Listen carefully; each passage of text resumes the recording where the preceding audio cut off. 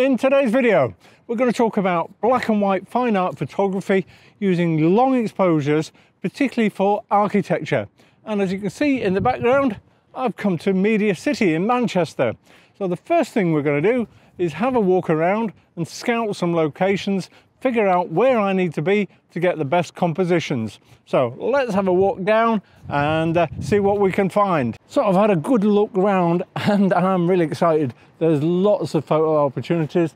The weather's improving slightly as well. It looks like some brighter weather going to come in and uh, sunset's at 8 o'clock tonight. It's currently about 5, so I've got plenty of time on my hands. And that's one thing I would say, get to your locations early, get a good look round, and then when the light's right, you know exactly where to be. Now the other thing, so the locations I'm going to try and shoot is the skyline behind me. There's a couple of bridges I want to shoot. There's the Millennium Bridge and there's another footbridge. Now the uh, Millennium Bridge has got a nice, I think it's a hotel, which has got all this bronze glass on it. So I'll do my shot facing that way. It's got some lovely curved arches, which will create some great leading lines. So that's what I'm thinking about for the composition of that. The other bridge, let me just turn my camera and you should be able to see it upriver here. Now that's just the Media City footbridge and it's got some nice, uh, I think that the lines that support the bridge. It's a suspension type bridge and I'll probably play around with doing something closer in on that, trying to use those lines and a very simple minimalist type composition. Now the other things I want to photograph is the Imperial War Museum and that's another thing. I'm going to do it from this location. I'm also going to do it from the other side of the quay, from the other dock, because I think it looks quite good across the water. So there's a couple of things I'm waiting for now. Is one is for it to go a little bit darker, a bit more towards twilight, and then I'll get maybe some uh, the buildings will have more lights on and they'll create more contrast. And, and the other thing I'm going to do is I just want to go back and really suss out my location for the Lowry building. I'm going to sit down, have a cup of coffee, just let my brain uh, stew over it, my subconscious work on it. You know, sometimes you need to just let things go for a little bit and come back to them and it'll become clear what you need to do and you'll find that best angle. So before I go and get my cup of coffee, get the grey cells to work, let's just talk about equipment we're going to use. So I'm going to use my Sony a7R5. I'm going to set that up on a tripod because we're doing long exposures, so you need a sturdy tripod for that. And I'm going to use the Firecrest ND filters. I have them in 3, 6 and 10 stop. I'll figure out which one I need when I calculate my exposure, but I'll put the details up with the photos um, when I show them to you at the end. If you haven't seen my review of the Formatt Hitech filters, I'll leave a link to that up here. Now just let me give you a couple of tips on composition and why I'm thinking of photographing the buildings I am. Things you're looking for are shapes, textures, depth and contrast. And this Imperial War Museum behind me is a great example. It's got a textured roof, it's got lots of interesting shapes and curves. And because I'm going to convert this to black and white, that's what I'm looking for, things that will have different shades of them. So I'm already envisaging in my head which bits are going to be dark and which bits are going to be light and what textures I want to bring out. The overriding thing I would say when you're thinking about your composition, just keep it simple use the basic rules, rule of thirds, leading lines, those sort of things, but also think about what do I need in this photo and particularly would this photo look better if I left something out.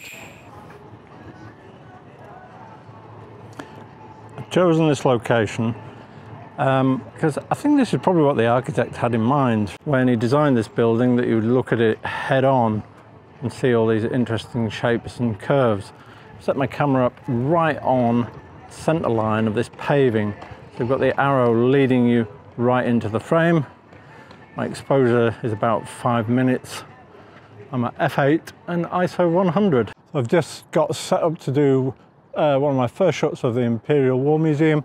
Now, for any of you who are not familiar with doing long exposures with ND filters and how to calculate exposure time, then you need to check out this video as well where I go through uh, using a long exposure calculator and uh, exactly how to work out what bulb timer setting you should use. So my normal exposure time would be around a 30th of a second at f8 and ISO 100 and that's without any ND filters fitted.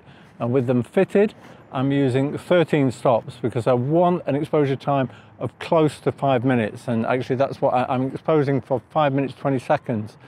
Also got a uh, circular polarizer filter fitted just to try and bring out a bit more contrast in the clouds, take away any glare from uh, uh, reflections on the water and things like that. So here's a little bonus tip for you. If you do find it is windy and you're worried about your camera or your tripod not being stable in the wind, you can do what I've done here, which is um, hang your camera bag. I just use a carabiner, use one of the handles, and I uh, that way I can hang my camera bag from the tripod. It's a lot of extra weight there, so that keeps it nice and stable. Well, I'm coming to the end of my photo shoot in Media City, and uh, I'm just doing this last long exposure of the skyline behind me. Just let me summarize a few key points. I think the main thing is have a good walk around first. Give yourself plenty of time, look for locations and possible compositions. If you're not sure about one, leave it, come back to it later and you'll see a new one. That's exactly what happened to me when I went back to uh, look at the Lowry. I found another position to take the shot from. Now, one final thing I should share with you, particularly because it's kind of happened to me tonight, is just be very aware of what's going on in the environment around you. There's been a couple of lads flying around on a scooter tonight and I don't think they've been doing any harm. I don't think they've been stealing bags or anything. But they've certainly been going pretty fast, so there's a strong chance they might knock your expensive camera equipment over, even if they don't steal your camera bag. So do take some care when you're doing this. Make sure that you uh, stand close to your tripod and uh, keep yourself out of harm's way. So I hope you enjoyed that. I hope you found those tips useful. If you do want to share your own photos, you can do so in the Nifty 50 Photographers Facebook group. I'll leave a link to that in the description. You can also put them in the community tab as well on uh, YouTube. And uh, in the meantime, go out and have some fun. It's well worth trying long exposures. You get some great results and I'll look forward to seeing you in the next video.